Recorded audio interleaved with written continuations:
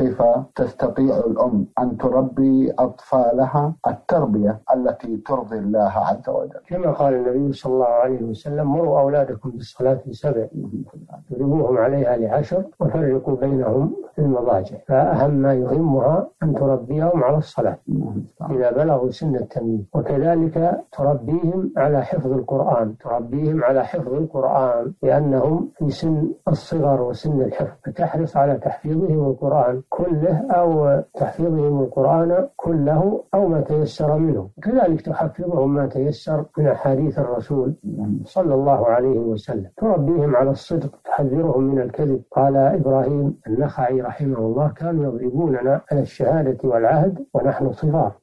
وتربيهم أيضا على على احترام الناس ولا سيما الوالدان. وتجنبهم مجالس السوء وقرناء السوء. تراقبهم في خروجهم وفي دخولهم وحتى في مضاجعهم. قال صلى الله عليه وسلم وفرقوا بينهم في المضاجع. نعم.